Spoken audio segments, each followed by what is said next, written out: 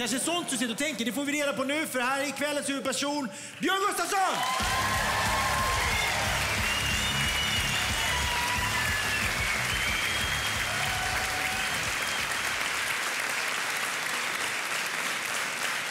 Tack så mycket. Nej, jag skojar. Eh, vad, vad heter det? Jo. Det sista Schyffert sa eh, för att jag skulle vara med här, det var kom igen, det blir kul.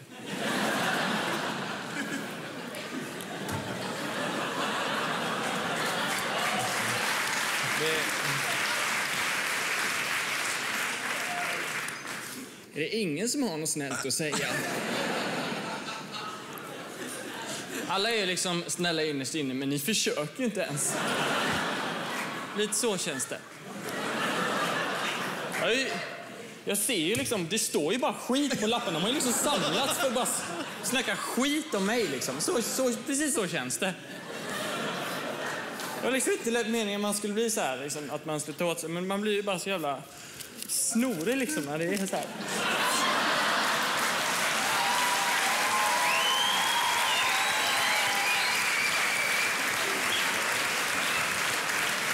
Det är liksom ingen... Förlåt, det, är kvar.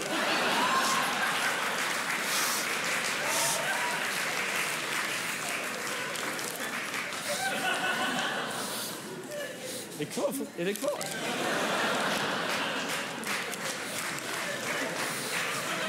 Oh.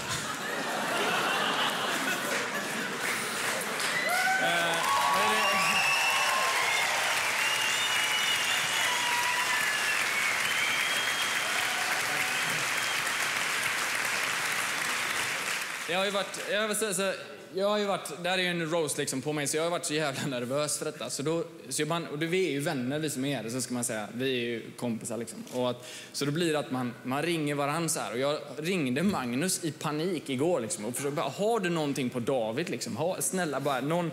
Och då fick jag den här så här att... Eh,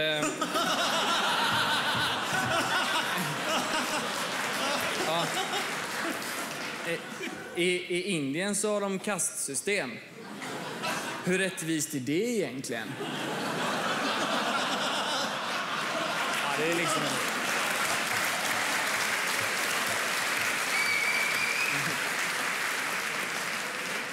Ringa, ringa David liksom och fråga har du, om han har något på Petra, om det finns någonting så här. Och då sa han så här, vad är det med kvinnor och smink egentligen? Tänk om vi killar skulle sminka oss. Hur skulle det se ut? Ja, det... Sen, sen, liksom, sen frågade David mig precis där, om, om jag visste om man, om man kan klia sig själv i öronen med axlarna. Så här. Jag bara, nej varför frågar du det? Nej, bara en grej jag tänkt på.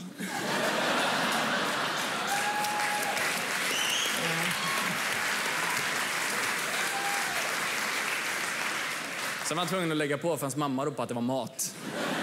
Eller, eller mört. Sen... Eh, jag var ju... Sen måste jag säga, så, så Soran, vi liksom, vi är de som ändå är närmast vänner där inne. Liksom. Och Soran har varit så jävla snäll. Han tar hem mig till sin familj på middag. Jag får vara hemma hos hans familj. Hans mamma har någon sorts jul hemma där hon står och skalar ner kebab då liksom. Så man får, får fråga liksom om jag vill ha allting på. Så att, eh,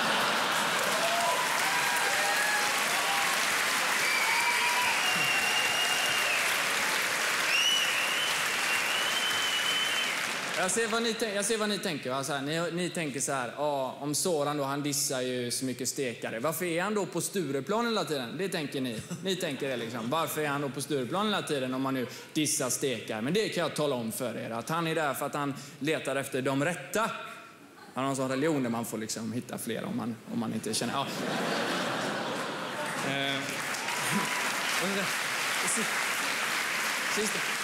Jag ska, jag ska plocka upp Soran från Stureplan en gång och bara se i buskarna där vid Humlegården så är det en sån liten, liten bratt som står och kaskadkräks. Alltså han så sprut kräks liksom. Så liten, liten brat. Jag har liksom aldrig sett så liten brat. i hela mitt liv.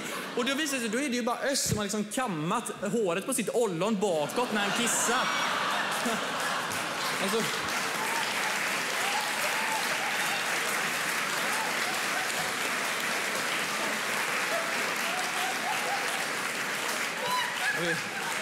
Han är, det är så, det är så synd. Össan alltså, pratar om att han vill ha det här egna landet. Han vill bara ha ett eget land. Det är det enda han vill. Liksom. Och så föds han till kurd. Det är liksom de enda som inte har ett eget land. Det, är liksom, det finns inte många som inte har ett eget land. Men kurd, jo, det, de har inget eget land. Inte det gör det till ironi. Liksom. Ja. Sen gjorde så, vi åkte på turné upp då, liksom. Då gjorde vi såna roliga, tre, jag gjorde tricks på Öst. Liksom. Då gjorde jag, la jag i ett skåp, la jag så lite värdegrejer.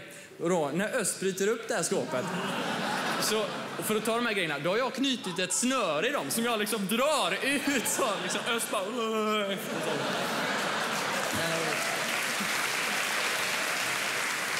Jag tänker, tänker på det ibland så. Vad, vad, hamnar, vad hamnar ni när, ni, när, ni, när, när vi dör? Liksom? Vad hamnar ni då? För ni är inte kristna, så det blir inte himlen.